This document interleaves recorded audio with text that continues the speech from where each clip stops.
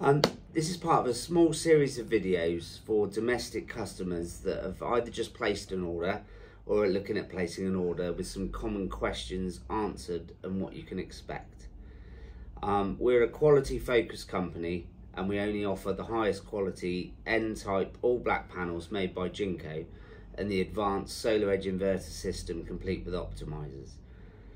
Previously, we've offered a whole variety of different solar panels to our customers, but deliveries have become so unreliable and constantly damaged shipments have encouraged us to purchase panels in bulk container quantity and the engineers load up at the start of the day from our storage facility and bring them to you on the day.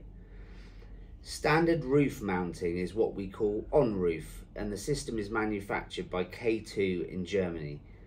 I'd always recommend on-roof mounting due to better ventilation of the panels and keeping the main roof covering intact underneath. The panels are only 30mm thick and they only protrude about 100mm up from the top of the roof. There are some horror stories about in the media about pigeons nesting under solar panels. In reality, this is actually very rare I would say we've been doing this for 12 years and I've only seen less than 1% of installations where pigeons have become a problem.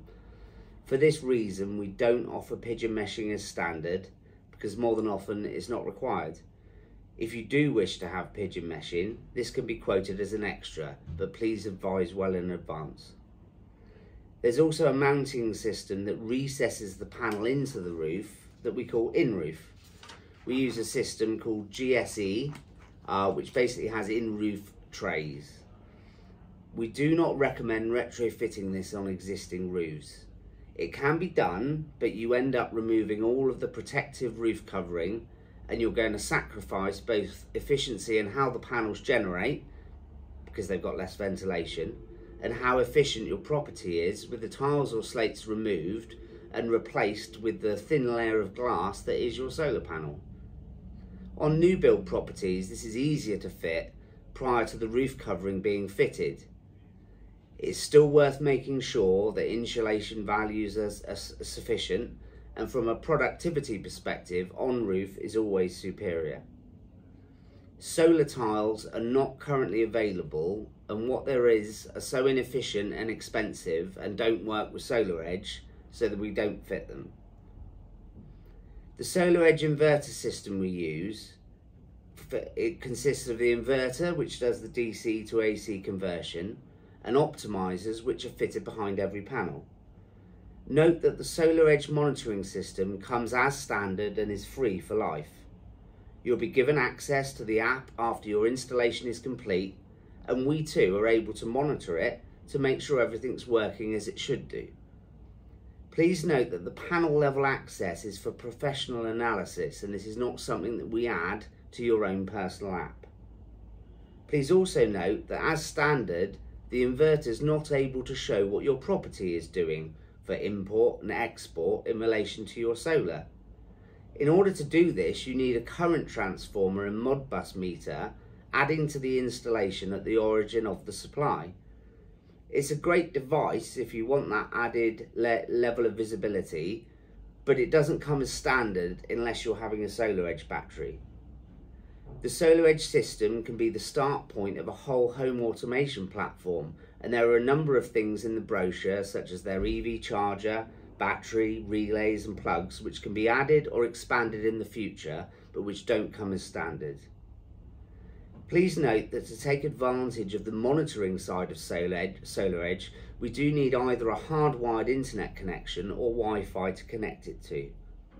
If you have a 4G connection where you use your mobile phone to access your internet, this will not work. It is possible to either not use the monitoring, the system works fine without it, or add a GSM module for an additional cost.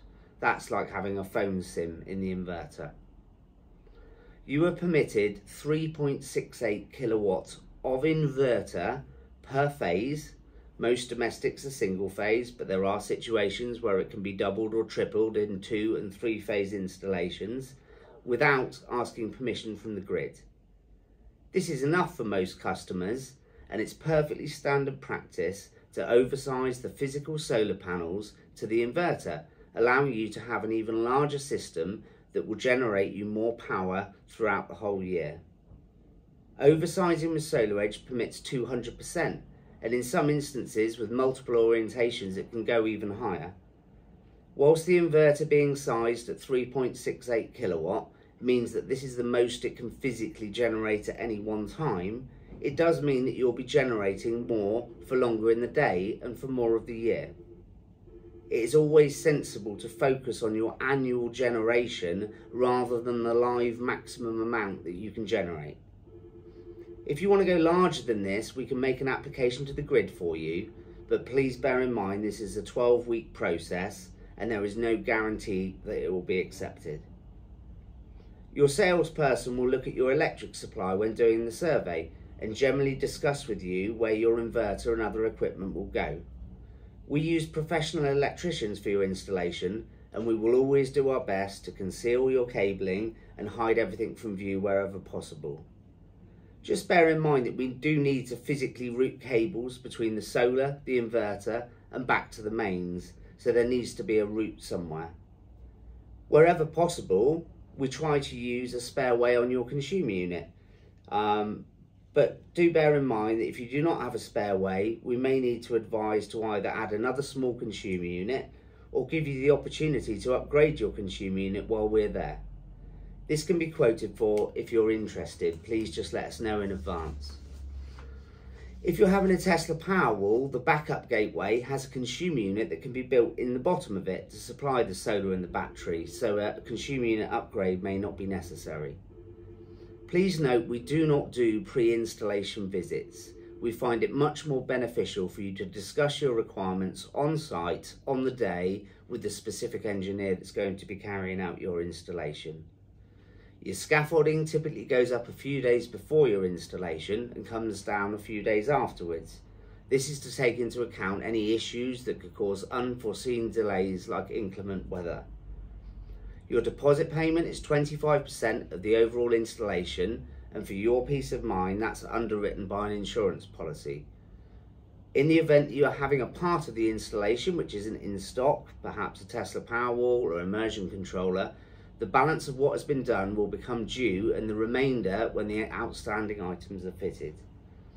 If you're having a battery or EV charger added to your installation, I'm going to go through this on a separate video specifically relevant to customers that are having these items. There is also going to be a video for post installation so you know what to expect then. Thank you very much.